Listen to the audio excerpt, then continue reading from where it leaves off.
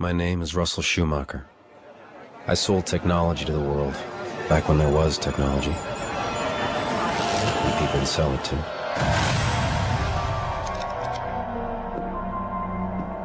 The way a person talked about the fall was always revealing.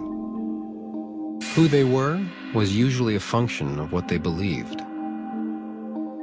Travis Jay's theory of spontaneous combustion made perfect sense to me, given he was an engineering student and a horror movie buff.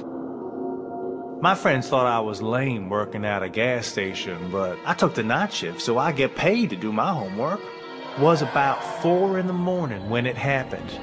I know, cause Freddie always came by on his way to the bakery.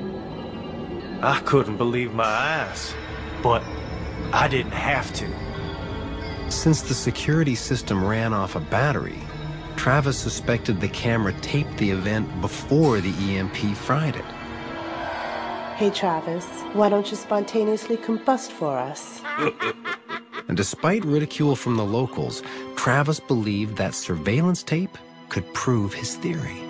He figured out the only way to replay the tape would be to use older technology, the kind using vacuum tubes so he built a sort of video playback machine with old recording equipment from the music studios around town. Mr. Shoemaker, I think you're more excited than me to see what's on that damn tape. He said if I stuck around Nashville a while longer, I could watch his first test. When I got back to Alice, she was worried sick I'd been caught by Charles and Subu. I apologized. I told her I'd been with Travis. And the good news was we might get answers soon to explain the fall. That set her off. She called Travis a fool, said I shouldn't be encouraging him. Why can't you people just accept things the way they are? I'd spent a week with Alice and we'd gotten along so well, but I really didn't know her like I thought. Told her it was probably time for me to move on. She tried to explain she didn't want things to go back to the way they were. That even without Nick, she liked the world better now. Without technology distracting us from what's really important. I finally realized Alice looked strong, but inside, she was scared and lonely. Her way of coping was to believe things were meant to be this way. You coming into my life, Russ? I believe that was meant to be too. She said me being around made her feel alive again.